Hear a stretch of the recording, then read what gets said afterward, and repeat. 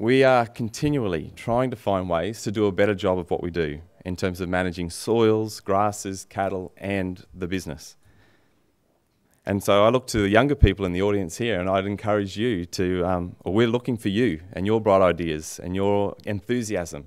to join us and help us to do a better job.